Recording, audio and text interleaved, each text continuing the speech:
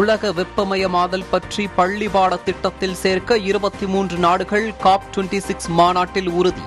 பருவநிலை மாற்றத்தை தடுக்க இளம் தலைமுறையினர் உட்பட அனைத்து தரப்பினரின் பங்களிப்பையும் உறுதிப்படுத்துவது குறித்தும் ஆலோசனை.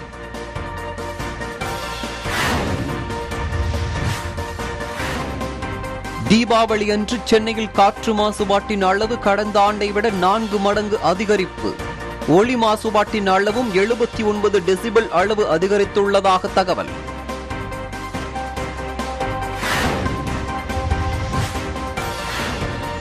தமிழகத்தில் பரவலாக இடி மின்னலுடன் கொட்டிய கனமழை. சாலைகளில் பெருக்கெடுத்து ஓடிய மழை நீர்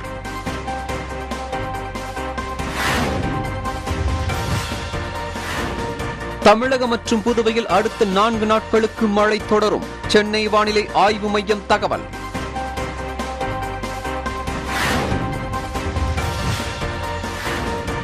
தொடர் மழையால் கடலூர் மாவட்டத்தில் பெரும்பாலான நீர்நிலைகள் நிரம்பியதால் வீணாக கடலில் கலக்கும் தண்ணீர். வடிகால் மாவட்டம் என்ற நிலையை மாற்றி நீர் சேமிப்பு மாவட்டமாக்க கோரிக்கை.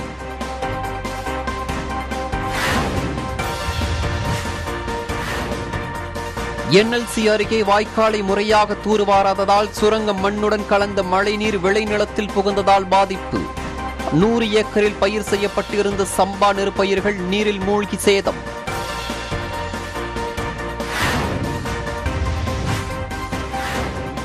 தமிழகத்தில் இன்று நடைபெறவிருந்த கொரோனா தடுப்பூசி சிறப்பு முகாம் தொடர் மழை மற்றும் தீபாவளி விடுமுறை காரணமாக பதினான்காம் தேதிக்கு தள்ளி வைப்பு.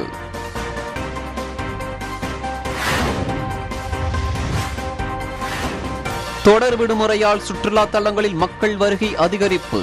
குமரியில் அதிக அளவில் சுற்றுலா பயணிகள் குவிந்ததால் வியாபாரிகள் மகிழ்ச்சி.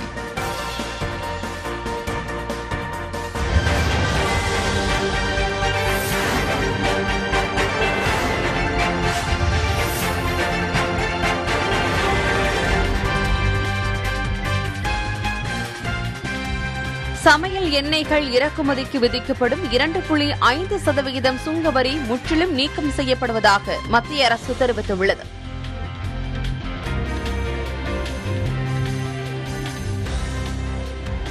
நூற்று முப்பது கோடி ரூபாய் மதிப்பிலான திட்டங்களை கேதார்நாத்தில் பிரதமர் மோடி தொடங்கி வைத்தார்.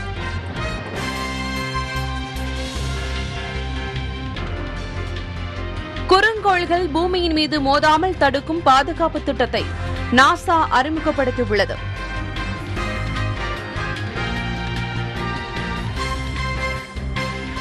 விவசாய கழிவு எரிப்பு பட்டாசு நச்சு புகையால் டெல்லியில் அபாய நிலையை நச்சுக்காட்டின் தரம் எட்டியது. ஏக்வையின் அளவு அறுநூற்று ஐம்பத்தைந்து புள்ளி பூஜ்ஜியம் ஏழாக பதிவானதாக புள்ளி விவரங்கள் தெரிவிக்கின்றன.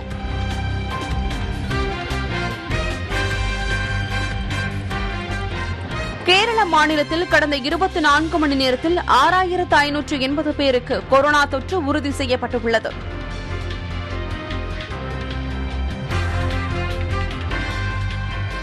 இந்திய பாகிஸ்தான் எல்லை கிராமத்தில் மறைத்து வைக்கப்பட்டிருந்த டிஃபன் பாக்ஸ் வெடிகுண்டை பஞ்சாப் போலீசார் அதிரடியாக மீட்டனர்.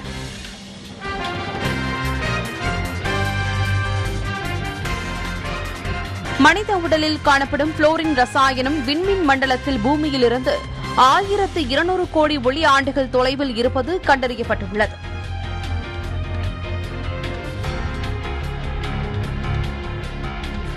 மெர்க் நிறுவனம் தயாரித்துள்ள மால்னுப்ரெவர் என்ற கொரோனா மருந்துக்கு பிரிட்டன் அரசு அங்கீகாரம் அளித்துள்ளது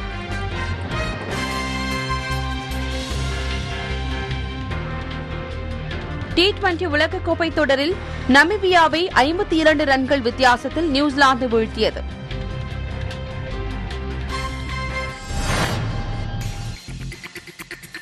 உலக வெப்பமயமாதல் பற்றி பள்ளி பாடத்திட்டத்தில் சேர்க்க இருபத்தி மூன்று நாடுகள் காப் டுவெண்டி சிக்ஸ் மாநாட்டில் உறுதியேற்றுள்ளன. ஸ்காட்லாந்து நாட்டின் கிளாஸ்கோ நகரத்தில் நடைபெற்று வரும் பருவநிலை மாற்றத்தை தடுப்பது தொடர்பான காப் டுவெண்டி சிக்ஸ் மாநாட்டில் இளம் தலைவர்கள் உலக நாடுகளின் அமைச்சர்கள் மற்றும் அதிகாரிகளுடன் ஆலோசனை நடத்தினர். பருவநிலை மாற்றத்தை தடுக்க உலக நாடுகள் நடவடிக்கை எடுக்க வேண்டும் என அவர்கள் வலியுறுத்தினர். ஆலோசனைகளுக்கு பின்னர் செய்தியாளர்களை சந்தித்த காப் தலைவர் அலோக் சர்மா உலக வெப்பமயமாதல் பற்றி பள்ளி பாடத்திட்டத்தில் சேர்க்க இருபத்தி மூன்று நாடுகள் காப் 26 சிக்ஸ் மாநாட்டில் உறுதியேற்றுள்ளன என தெரிவித்தார். மேலும் நாற்பதாயிரம் இளம் தலைவர்களின் கருத்துக்களை உலக நாடுகளிடம் சமர்ப்பிக்கப்பட்டுள்ளதாகவும் குறிப்பிட்டார். பருவநிலை மாற்றத்தை தடுக்க இளம் தலைமுறையினர் உள்பட அனைத்து தரப்பினரின் பங்களிப்பையும் உறுதிப்படுத்துவது குறித்தும் நிகழ்ச்சிகளில் ஆலோசிக்கப்பட்டது என்றும் தெரிவித்தார்.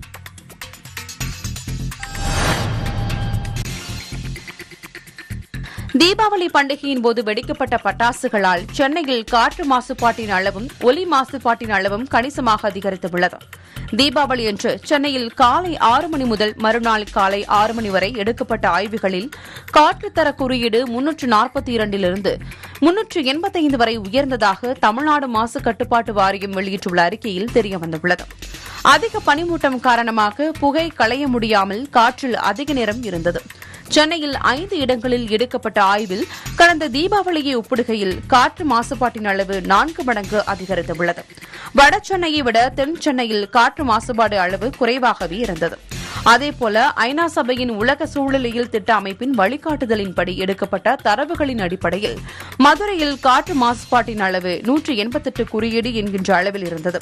கோவையில் நூற்று எழுபத்தெட்டு என்கிற அளவிலும் அதிகபட்சமாக சேலத்தில் இருநூற்று எழுபத்தைந்து என்கிற அளவில் இருந்தது. திருப்பூரில் இருநூற்று முப்பத்தி மூன்று என்கிற அளவில் இருந்தது. தூத்துக்குடியில் நாற்பத்தைந்து என்கிற அளவில் மிகவும் குறைவாக பதிவாகியுள்ளது.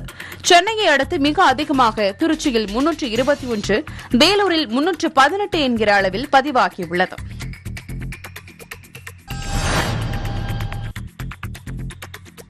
தொடர் விடுமுறையால் கன்னியாகுமரியில் சுற்றுலா பயணிகள் அதிக அளவில் குவிந்தனர்.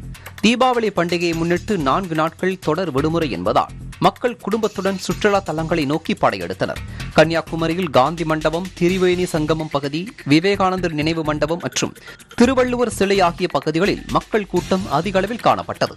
எல்லாம் சேஃப்டியும் நல்லா இருக்குது. மக்களும் நிறைய பேர் வந்திருக்காங்க. ரொம்பவே என்ஜாயாக இருக்குது. இதேபோல் சென்னை மெரினா கடற்கரையில் பொதுமக்கள் கூட்டம் அதிகமாக காணப்பட்டது. அண்ணா நினைவிடத்திலிருந்து கலங்கரை விளக்கம் வரையுள்ள மூன்று கிலோமீட்டர் சர்வீஸ் சாலை முழுவதும் வாகனங்களால் நிரம்பியது. நீண்ட நாட்களுக்கு பிறகு கலங்கரை விளக்கத்தில் மக்கள் அனுமதிக்கப்பட்டுள்ளதால் அங்கிருந்தும் பலர் மெரினா கடற்கரை அழகை ரசித்தனர். பாதுகாப்பிற்காக நூற்றுக்கும் மேற்பட்ட காவல்துறையினர் மெரினா பகுதியில் ரோந்து பணியில் ஈடுபட்டனர். கொரோனா தடுப்பு விதிமுறை அமலில் இருக்கும் நிலையில் அது குறித்த கண்காணிப்பும் ஒலிபெருக்கிகள் மூலம் விழிப்புணர்வு ஏற்படுத்தப்பட்டது. பொதுமக்கள் கூட்டத்தால் மெரினா கடற்கரையில் கடை அமைத்துள்ள ஐநூற்றுக்கும் மேற்பட்ட சிறு கடை உரிமையாளர்கள் மகிழ்ச்சி அடைந்துள்ளனர்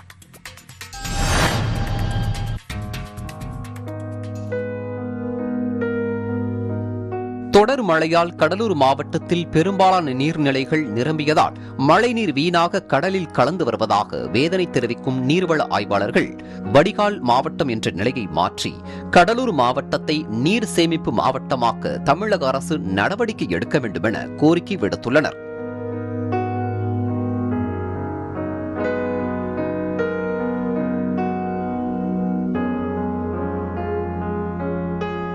கடலூர் மாவட்டத்தில் கடந்த ஒரு வாரமாக கொட்டி தீர்த்த வடகிழக்கு பருவமழையால் மாவட்டம் முழுவதும் உள்ள ஏரி குளம் ஆறு வாய்க்கால் என அனைத்தும் நிரம்ப தொடங்கியுள்ளன. பல இடங்களில் விவசாய நிலங்களிலும் குடியிருப்பு பகுதிகளும் மழைநீர் சூழ்ந்தது. கடலூர் நகரத்தை தழுவி கொண்டு செல்லும் கெடிலம் ஆறு மற்றும் தென்பெண்ணை ஆற்றில் தற்போது வெள்ளம் கரைபுரண்டு ஓடி வங்கக்கடலில் சென்று கலக்கிறது. ஒரு வாரமாக பெய்த மழை தற்போது குறைந்துள்ள காரணத்தால் மழைநீர் வடிய தொடங்கியுள்ளது. ஒவ்வொரு வருடமும் மழை காலத்தின் போது வெள்ள நீர் கடலில் கலந்து வரும் நிலையில் கோடை காலங்களில் குடிநீர் பஞ்சத்தை எதிர்கொள்ளும் மாவட்டமாகவே கடலூர் இருந்து வருவதாக பொதுமக்கள் வேதனை தெரிவிக்கின்றனர். கடலூர் மாவட்டத்தின் வழியாக தென்பெண்ணையாறு கெடிலமாறு வெள்ளாறு மணிமுத்தாறு கொள்ளிடமாறு பரவனாறு உள்ளிட்ட ஆறுகள் கடலில் சங்கமிக்கின்றன. இந்த ஆறுகள் வழியாக ஒவ்வொரு ஆண்டும் வெள்ள நீர் கடலில் வீணாக கலக்கிறது. இந்த ஆறுகளையே நீர் சேமிப்பு நிலையங்களாக இந்த ஆறுகளில் ஒவ்வொரு ஐந்து கிலோமீட்டர் தொலைவுக்கும் தடுப்பணைகள் அமைத்து அவற்றில் தண்ணீரை சேமிக்கலாம் என நீர்வள ஆய்வாளர்கள் தெரிவிக்கின்றனர். பல ஏரிகளுக்கு வரத்து வாய்க்காலும் வடிநீர் வாய்க்காலும் இல்லாமல் உள்ளதையும் சுட்டிக்காட்டும் ஆய்வாளர்கள் முறையாக வாய்க்கால் அமைக்க வேண்டும் எனவும் தெரிவிக்கின்றனர். ஆறுகளையே நீர் சேமிக்கும் பகுதிகளாக மாற்றினால் நிலத்தடி நீர் உயர்வதோடு மட்டுமல்லாமல் வீணாக ஆற்றில் கலக்கும் வெள்ள நீரை கோடை காலத்தில் உபயோகிக்க ஏதுவாக இருக்கும் எனவும் தெரிவிக்கின்றனர் வல்லுநர்கள். தமிழக அரசு உடனடியாக இதை கருத்தில் கொண்டு கடலூர் மட்டுமல்லாமல் தமிழகம் முழுவதும் உள்ள ஆறு ஏரி குளம் வாய்க்கால் என அனைத்திலும் தண்ணீரை சேமிக்க நடவடிக்கை எடுக்க வேண்டும் என்பதே அனைவரின் எதிர்பார்ப்பாக உள்ளது. புதியுகம் செய்திகளுக்காக புதியுகம் செய்தியாளர் குழு.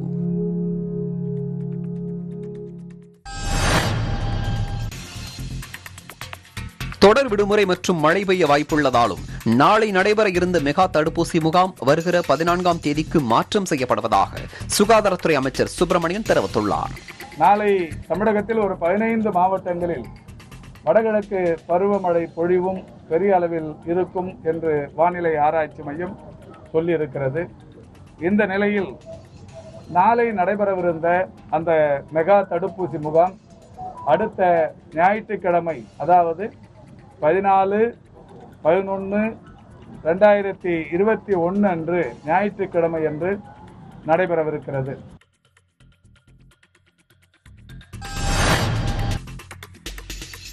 கடலூர் மாவட்டம் விருதாச்சலம் அருகே என்எல்சி நிறுவனம் வாய்க்காலை முறையாக தூர்வாராததால் சுரங்க மண்ணுடன் மழைநீர் விளைநிலத்தில் புகுந்தது.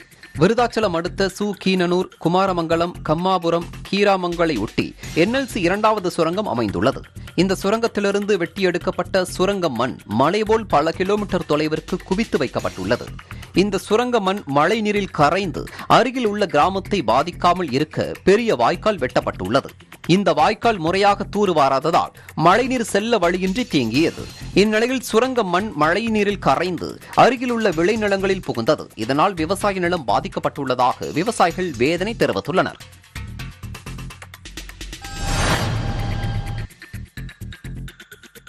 கடலூர் மாவட்டம் விருதாச்சலம் அடுத்த கவனை சித்தேரி குப்பம் பகுதிகளில் கடந்த நான்கு நாட்களாக பெய்த தொடர் மழையால் நெற்பயிர்கள் நீரில் மூழ்கியுள்ளன.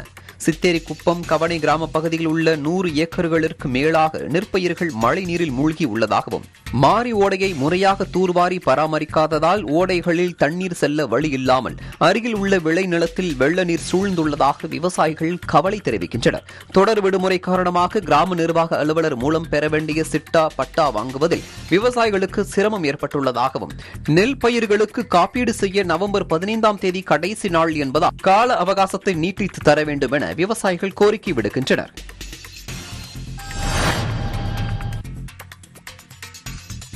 மத்திய மேற்கு வங்கக்கடல் மற்றும் அதனை ஒட்டிய ஆந்திர கடலோர பகுதிகளில் நிலவும் வளிமண்டல மேலடுக்கு சுழற்சி காரணமாக தமிழகம் மற்றும் புதுவையில் அடுத்த நான்கு நாட்களுக்கு மழை தொடரும் என சென்னை வானிலை ஆய்வு மையம் தெரிவித்துள்ளது.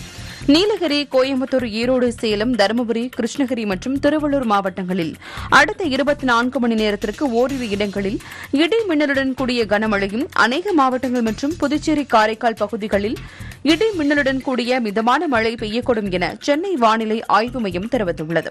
சென்னையை பொறுத்தவரை அடுத்த இருபத்தி நான்கு மணி நேரத்திற்கு வானம் பொதுவாக மேகமூட்டத்துடன் காணப்படும் எனவும் நகரின் ஒரு சில பகுதிகளில் லேசானது முதல் மிதமான மழை பெய்யக்கூடும் எனவும் வானிலை ஆய்வு மையம் தெரிவித்துள்ளது. மத்திய மேற்கு வங்கக்கடல் மற்றும் அதனை ஒட்டிய ஆந்திர கடலோர பகுதிகள் கேரள கர்நாடக கடலோர பகுதிகள் மற்றும் தென்கிழக்கு அரபிக்கடல் பகுதிகளில் சூறாவளி காற்று வீசக்கூடும் என்பதால் மீனவர்கள் அந்த பகுதிகளுக்கு செல்ல வேண்டாம் என்று அறிவுறுத்தப்பட்டுள்ளது.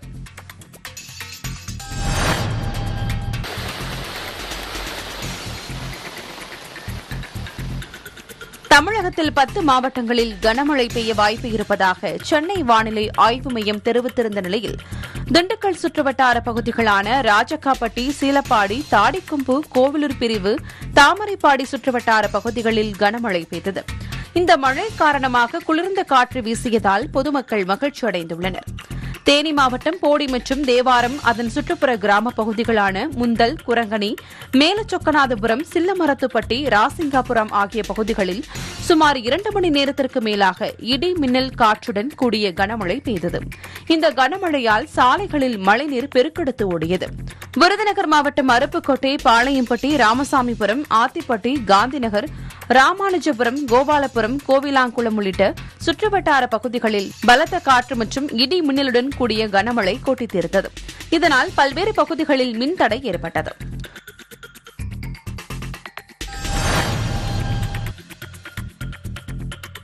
சத்தியமங்கலம் அருகே மலை கிராமங்களில் பெய்த கனமழை காரணமாக காட்டாற்றில் செந்நிற மழைநீர் கரை புரண்டு ஓடியது. ஈரோடு மாவட்டம் சத்தியமங்கலம் அடுத்துள்ள கேர்மாளம் மலைப்பகுதியில் கனமழை பெய்தது. இந்த மழையால் அப்பகுதியில் உள்ள காட்டாற்றில் செந்நிற மழைநீர் பெருக்கெடுத்து ஓடியது. பள்ளங்கள் மற்றும் ஓடைகளில் பெருக்கெடுத்து ஓடும் மழைநீர் பாலாறு ஓடையில் கலந்து காவிரி ஆற்றுக்கு சென்று சேர்கிறது. இதனால் மலை கிராம மக்கள் மற்றும் விவசாயிகள் மகிழ்ச்சி அடைந்துள்ளனர்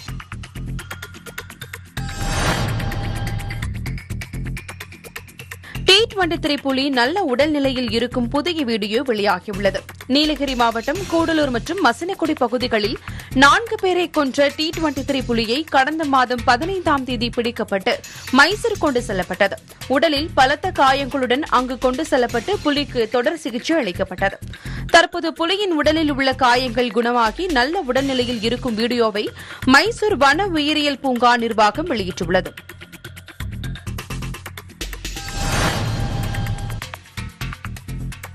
ஆத்தூர் பகுதியில் நெல் நடவு பணிகளில் விவசாயிகள் ஈடுபட்டுள்ளனர்.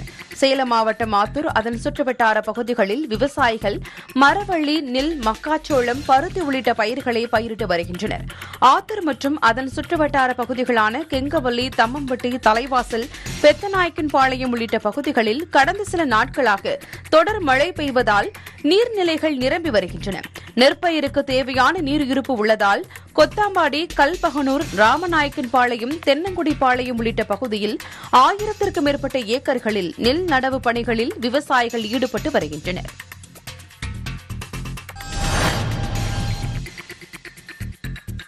திருவாரூர் மாவட்டத்தில் கடந்த சில நாட்களாக தொடர்ந்து பெய்த பலத்த மழை காரணமாக பல ஆயிரக்கணக்கான ஏக்கர் பரப்பளவில் பயிர்கள் தண்ணீரில் மூழ்கியுள்ளது. இதுகுறித்து வேளாண் துறை இயக்குநர் அண்ணாதுரை திருத்துறைப்பூண்டி அருகே மணலி கிராமத்தில் மழையினால் பாதிக்கப்பட்ட நெற்பயிர்களை பார்வையிட்டார். ஆய்வின்போது திருவாரூர் மாவட்ட ஆட்சியர் காயத்ரி கிருஷ்ணன் மாவட்ட வேளாண் இணை இயக்குநர் சிவக்குமார் உள்ளிட்டோர் பங்கேற்றனர்.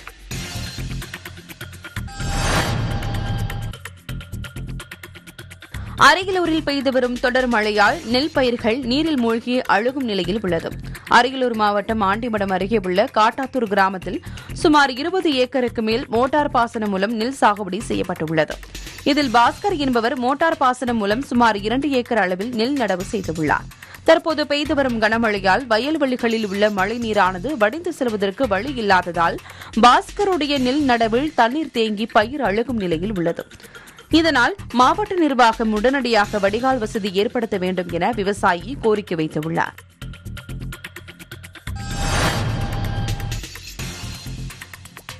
திண்டுக்கல் மாவட்டம் வத்தலக்குண்டு அருகே வீரன்குளம் கண்மாயிலிருந்து திடீரென அதிக அளவில் தண்ணீர் மஞ்சுளாறு வரத்து கால்வாய்க்கு வந்ததால் அழுத்தம் தாங்காமல் கால்வாயில் உடைப்பு ஏற்பட்டது. இதனால் நெல் வயல்கள் மற்றும் வாழைத்தோப்புகளில் தண்ணீர் புகுந்தது. சம்பவ இடத்துக்கு வந்த நிலக்கோட்டை வருவாய்த்துறையினர் மற்றும் பொதுப்பணித்துறையினர் மஞ்சுளாறு வரத்து வாய்க்காலில் தண்ணீரை நிறுத்திவிட்டு மறுகால் தண்ணீர் வரும் பாதையில் கட்டைகள் வாழை மரங்களை கொண்டு அடுக்கி தண்ணீர் புகாத வண்ணம் நடவடிக்கை எடுத்தனர். மழை காரணமாக மயிலாடுதுறையை அடுத்துள்ள வில்லியநல்லூர் வரகடை தாளஞ்சேரி பகுதிகள் ஐநூறு ஏக்கருக்கும் மேற்பட்ட வயல்களில் இளம் நாற்று நீரில் மூழ்கியுள்ளது. வடிகால் வாய்க்கால்களான வரகடை வெளிவாய்க்கால் மேவெளி கன்னி வாய்க்கால் உச்சிதமங்கலம் வாய்க்கால் வடக்கு வெளிவாய்க்கால்கள் ஐந்து கிலோமீட்டர் தூரத்திற்கு கடந்த பத்து ஆண்டுகளாக தூர்வாரப்படாததாலும் ஆக்கிரமிப்புகளும் தான் இதற்கு காரணம் என்றும் உடனடியாக நான்கு வடிகால் வாய்க்கால்களையும் தூர்வார வேண்டும் என்று அப்பகுதி விவசாயிகள் கோரிக்கை வைத்துள்ளனர். இங்க பாத்தீங்கன்னா இந்த வரடவெளி வாய்க்கா ஒண்ணு இந்த மேலவெளி வாய்க்கா ஒன்று இந்த ஓடையிலேருந்து வடிகால் வாய்க்கா ஒன்று அந்த உச்சிதமங்கலத்துக்கு வந்து வடக்கொல்லி வாய்க்கால் ஒன்று போகும் சார். இது எல்லாமே ஆக்கிரமிப்பு பண்ணிட்டாங்க சார் எல்லாமே. ஆக்கிரமிப்பு பண்ணி தண்ணியாக வடிய மாட்டேங்குது சார் எங்கேயுமே. இதனால் வந்து விவசாயிகள் வருஷம் வருஷம் பாதிக்க போகிறோம் இந்த வருஷம் ரொம்ப ரொம்ப பாதிக்கு சார் இந்த வருஷம். இந்த வருஷம் வந்து ஒன்றுமே பண்ண முடியாது. இந்த பயிரே தேராது.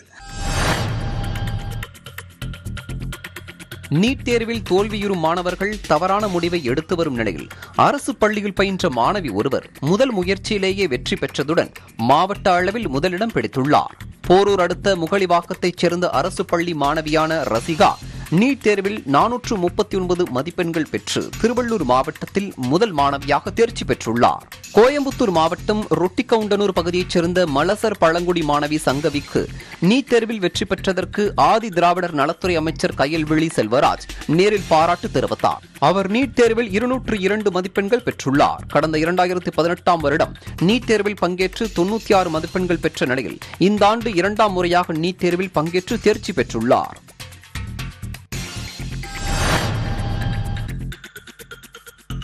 மதுரை ரயில்வே கோட்டத்தில் தூத்துக்குடி வாடிப்பட்டி மானாமதுரை ஆகிய ரயில் நிலையங்களில் இருந்து நிலக்கரி உரம் டிராக்டர்கள் கருவேலங்கரி போன்ற பொருட்கள் நாட்டில் உள்ள மற்ற ரயில் நிலையங்களுக்கு அனுப்பப்படுகிறது. இதன் மூலம் இந்த நிதியாண்டில் அக்டோபர் மாதம் வரை மதுரை கோட்டம் நூற்று நாற்பத்தி ஒன்பது புள்ளி அறுபத்தி நான்கு ரூபாய் கோடி வருவாய் ஈட்டியுள்ளது. இது சென்ற ஆண்டை காட்டிலும் இரண்டு புள்ளி ஐந்து சதவீதம் அதிகம் என தெரிவிக்கப்பட்டுள்ளது.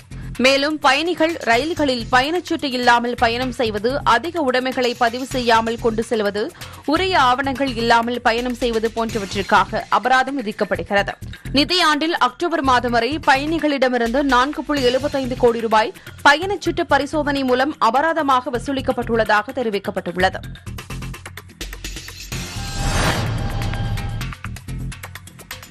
கன்னியாகுமரி மாவட்டம் கணபதிபுரம் பேரூராட்சியில் அமைந்துள்ள லெமூர் கடற்கரையில் தொடர் விடுமுறை காரணமாக ஏராளமான மக்கள் குடும்பத்துடன் வந்து இயற்கை எழிலை ரசித்து மகிழ்ந்தனர். ஆபத்தான கடல் பகுதி என்பதால் கடற்கரையில் குளிக்க மாவட்ட நிர்வாகம் சார்பில் தடை விதிக்கப்பட்டுள்ளது. இதனால் அங்கு கடலோர பாதுகாப்பு குழும போலீசார் கண்காணிப்பு பணியில் ஈடுபட்டனர்.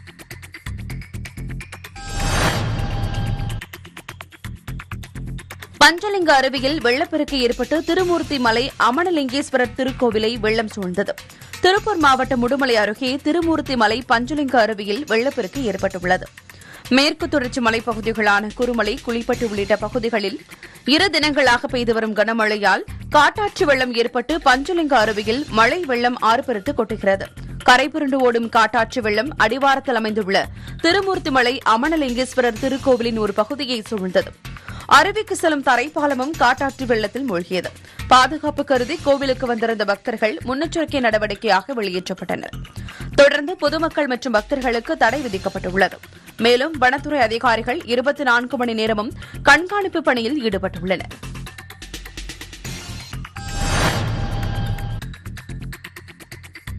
திருவள்ளூர் மாவட்டம் பூண்டி சத்தியமூர்த்தி நீர்த்தேக்கத்தை பால்வளத்துறை அமைச்சர் நாசர் ஆய்வு மேற்கொண்டார். பின்னர் செய்தியாளர்களிடம் பேசிய அவர் பருவமழையை எதிர்கொள்ள தமிழக அரசு தயார் நிலையில் உள்ளதாகவும் தீபாவளியின் போது எண்பத்தி மூன்று கோடி ரூபாய்க்கு ஆவின் இனிப்புகள் விற்பனை செய்யப்பட்டதாகவும் தெரிவித்தார்.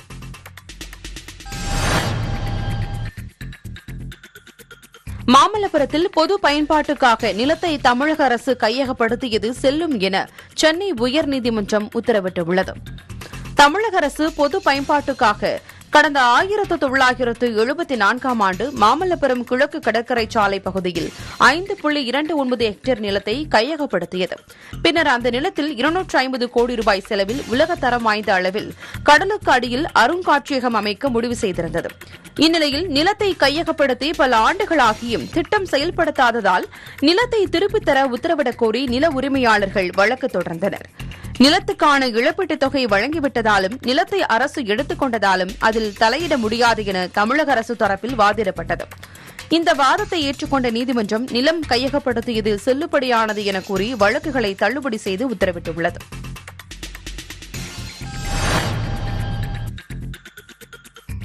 விருதுநகரில் கடந்த பதினைந்து நாட்களாக பாதாள சாக்கடை அடைப்புகளை அகற்றாத நகராட்சி நிர்வாகத்தை கண்டித்து நகராட்சி அலுவலகத்தை முற்றுகையிட்டு பெண்கள் ஆர்ப்பாட்டத்தில் ஈடுபட்டனர். நகராட்சிக்குட்பட்ட ஆத்துமேடு சிவந்திபுரம் பகுதியில் குடிநீருடன் கழிவுநீர் கலந்து வருவதால் தொற்றுநோய் ஏற்படும் அபாயம் இருப்பதாக கூறி அப்பகுதி பெண்கள் நகராட்சி அலுவலகத்தை முற்றுகையிட்டனர். காவல்துறையினர் மற்றும் நகராட்சி ஊழியர்கள் ஆர்ப்பாட்டத்தில் ஈடுபட்டவர்களுடன் பேசி உரிய நடவடிக்கை எடுக்கப்படும் என உறுதி அளித்ததைத் தொடர்ந்து போராட்டத்தில் ஈடுபட்டவர்கள் கலைந்து சென்றனர்.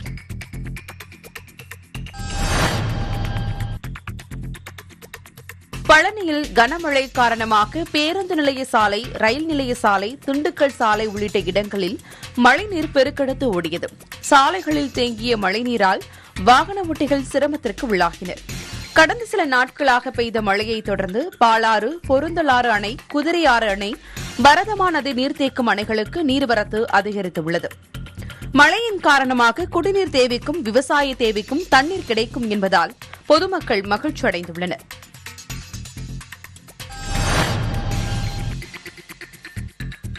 சேலம் மாவட்டம் ஆத்தூர் மற்றும் அதன் சுற்றுவட்டார பகுதிகளில் கனமழை கொட்டித்தீர்த்தது இதனால் நகரின் பெரும்பாலான சாலைகளில் மழைநீர் பெருக்கெடுத்து ஓடியது.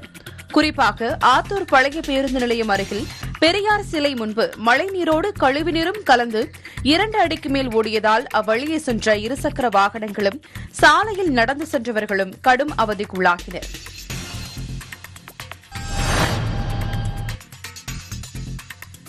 திருப்பூர் மாவட்டத்தில் இடியுடன் கூடிய கனமழை பெய்தது. கனமழையின் காரணமாக கொங்கு மெயின்ரோடு ஊத்துக்குழி சாலை முதலாவது ரயில்வே கேட் மற்றும் இரண்டாவது ரயில்வே கேட் பாலங்கள் அணை பாலம் உள்ளிட்ட பகுதிகளில் மழைநீர் குளம் போல தேங்கியதால் பொதுமக்கள் மற்றும் வாகன ஓட்டிகள் சிரமமடைந்தனர். காங்கேயம் தாராபுரம் அவினாசி உள்ளிட்ட பகுதிகளிலும் கனமழை பெய்ததால் விவசாயிகள் மகிழ்ச்சியடைந்தனா்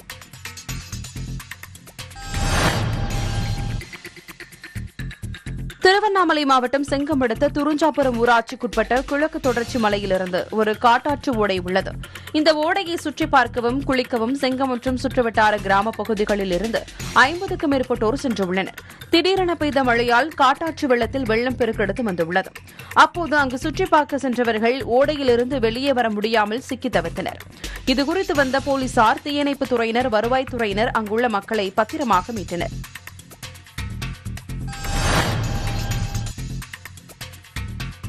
கடலூர் பெண்ணாடம் அருகே இறந்தவரின் உடலை வெள்ளம் பெருக்கெடுத்து ஓடும் ஆற்றை கடந்து சென்று ஆபத்தான முறையில் அடக்கம் செய்தனர். துறையூர் கிராமத்தைச் சேர்ந்த வெள்ளையன் உடல்நலக்குறைவால் உயிரிழந்தார்.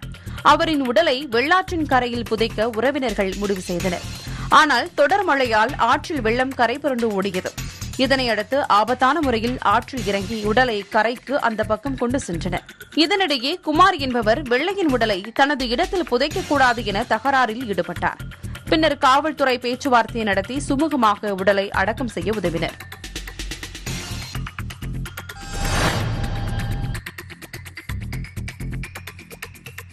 திண்டுக்கல் மாவட்ட ஆட்சியர் அலுவலகத்தின் அருகே இந்திரா நகர் பகுதியில் ஜெயசீலன் என்பவருக்கு சொந்தமான பஞ்சு ஆலையில் திடீரென தீ விபத்து ஏற்பட்டது. அங்கிருந்த பஞ்சு பேல்கள் புதிதாக தயாரிக்கப்பட்ட நூல் மற்றும் இயந்திரங்கள் என ரூபாய் இருபது லட்சம் மதிப்புள்ள பொருட்கள் எரிந்து சேதமாகின. தகவல் அறிந்து சம்பவ இடத்திற்கு வந்த தீயணைப்புத் துறையினர் இரண்டு மணி நேர போராட்டத்திற்கு பின் தீயை அணைத்தனர். இந்த தீ விபத்து குறித்து தாடிக்கொம்பு போலீசார் வழக்கு பதிவு செய்து விசாரணை மேற்கொண்டு வருகின்றனர்.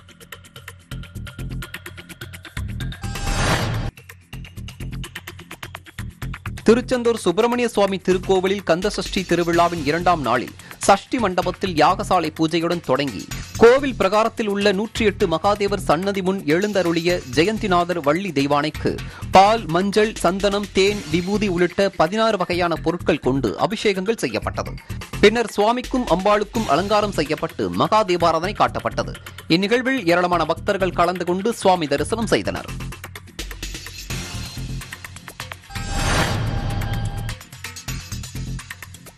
செங்கல்பட்டு மாவட்டம் திருக்கழுக்குன்றம் நகரப்பகுதியில் வேதகிரீஸ்வரர் மலைக்கோயில் மற்றும் தாழக்கோயில் அமைந்துள்ளது. தாழக்கோயிலின் சந்நிதி தெருவில் பனிரெண்டு ஏக்கர் பரப்பளவில் பிரசித்தி பெற்ற சங்கு தீர்த்தம் குளம் அமைந்துள்ளது. இக்குளத்தில் பனிரண்டு ஆண்டுகளுக்கு ஒருமுறை சங்கு பிறப்பதால் சங்கு தீர்த்த குளம் என பெயர் பெற்றுள்ளது. இந்நிலையில் குளத்தில் திருத்தொண்டேஸ்வரர் உளவார திருப்பணி சார்பில் தூய்மை பணிகள் மேற்கொள்ளப்பட்டது. புற்களை அகற்றியும் பிளாஸ்டிக் கழிவுகள் மற்றும் பாசிகளை அகற்றி உளவார திருப்பணி மேற்கொள்ளப்பட்டது. இதில் ஏராளமான சிவரடியார்கள் பங்கேற்று திருப்பணிகளை மேற்கொண்டனர்.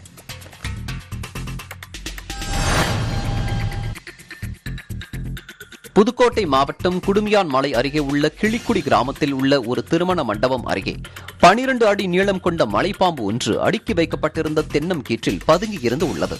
இதனை பார்த்து அப்பகுதி மக்கள் அதிர்ச்சி அடைந்து இலுப்பூர் தீயணைப்புத் துறையினருக்கு தகவல் அளித்தனர். இதையடுத்து அங்கு வந்த இலுப்பூர் தீயணைப்புத் துறையினர் அக்கிராம பொதுமக்களின் உதவியோடு அந்த மலைப்பாம்பை லாபகமாக பிடித்தனர். பின்னர் பிடிக்கப்பட்ட மலைப்பாம்பு வனத்துறையிடம் ஒப்படைக்கப்பட்டது. இதையடுத்து அந்த மலைப்பாம்பை நார்த்தாமலை காப்பு காட்டில் கொண்டு போய் வனத்துறையினர் விட்டனர்.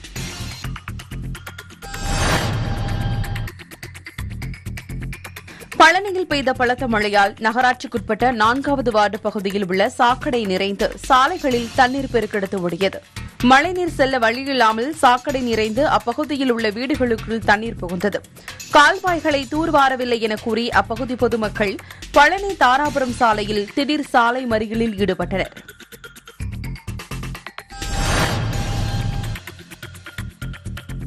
திருச்செந்தூர் சுப்பிரமணிய சுவாமி திருக்கோவில் அன்னதான திட்டம் விரிவாக்கம் செய்யப்பட்டு புதிதாக அமைக்கப்பட்ட அன்னதான அரங்கை அமைச்சர் அனிதா ராதாகிருஷ்ணன் திறந்து வைத்தார்.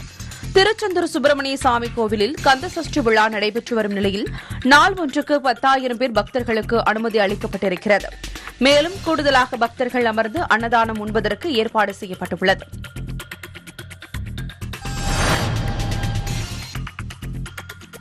தீபாவளி பண்டிகையை முன்னிட்டு தொடர் விடுமுறை என்பதால் பல்வேறு ஊர்களில் இருந்து தஞ்சாவூர் மாவட்டம் திங்களூர் நவக்கிரக ஸ்தலத்தில் இரண்டாவது ஸ்தலமான சந்திரன் கோவிலில் அதிக அளவில் பக்தர்கள் காத்திருந்து சுவாமி தரிசனம் செய்தனர். சென்னையில் நாற்பத்தி ஏழு டி பேருந்து ஆவடி பேருந்து பணிமனைக்கு சென்று கொண்டிருந்தது. அப்போது வந்த மூன்று நபர்கள் பேருந்தை வழிமறித்து முன்பக்க கண்ணாடியை உடைத்துள்ளனர். பேருந்து ஓட்டுநர் மற்றும் நடத்துனர் போக்குவரத்து காவல்துறையினர் உதவியுடன் அவர்களை பிடித்து ஆவடி காவல் நிலையத்தில் ஒப்படைத்துள்ளனர். மதுபோதையில் அவர்கள் கண்ணாடியை உடைத்தது போலீஸ் விசாரணையில் தெரியவந்துள்ளது.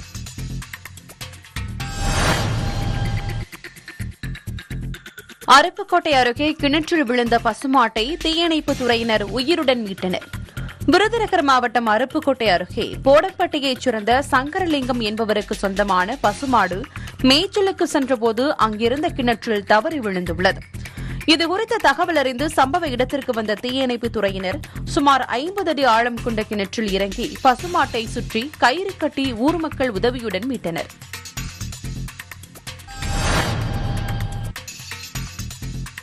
சென்னை மாநகராட்சி அம்பத்தூர் மண்டலம் ஏழுக்குட்பட்ட தொன்னூறாவது வார்டு பாடி புதுநகர் பகுதியில் கடந்த நான்கு நாட்களாக பத்தொன்பது தெருக்களில் உள்ள குப்பைகள் அகற்றப்படாமல் இருந்தது.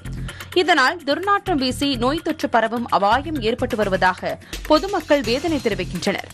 குப்பைகள் போடுவதற்கு குப்பை தொட்டிகள் இல்லை எனவும் மாநகராட்சி அதிகாரிகளை தொடர்பு கொண்டபோது குப்பை தொட்டிகளுக்கான ஒப்புதல் பெறவில்லை என்றும் மண்டல அதிகாரிகள் தெரிவிப்பதாக பொதுமக்கள் கூறினர். மேலும் தூய்மை பணியாளர்கள் கூறுகையில் குப்பை அள்ளும் வாகனம் வராததால் தான் குப்பை தேங்கியுள்ளதாக தெரிவித்துள்ளனர்.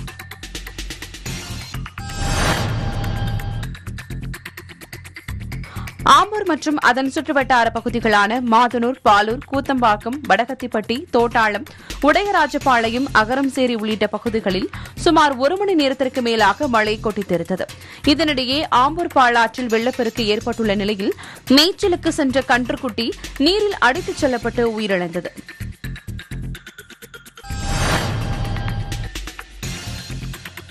ராமநாதபுரம் மாவட்ட ஆட்சியர் அலுவலக வளாக பகுதியில் இருவர் காரில் கஞ்சா வைத்து விற்பனையில் ஈடுபட்டு வருவதாக போலீசாருக்கு தகவல் கிடைத்தது. இதையடுத்து அப்பகுதிக்கு சென்ற கேணிக்கரை காவல்துறையினர் காரில் இருந்த இருவரை பிடித்து அவர்களிடமிருந்து ஒரு கிலோ முன்னூறு கிராம் கஞ்சா மற்றும் காரை பறிமுதல் செய்து விசாரணை மேற்கொண்டனர்.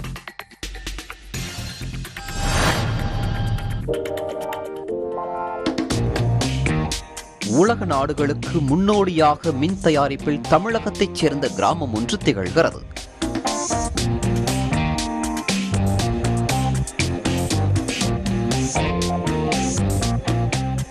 கோவை மாவட்டம் மேட்டுப்பாளையம் தாலுகா காரமடை ஊராட்சி ஒன்றியத்திற்குட்பட்ட ஓடந்துறை ஊராட்சி கடந்த இரண்டாயிரத்தி ஆறாம் ஆண்டே மின் தேவைக்காக காற்றாலையை அமைத்துள்ளது.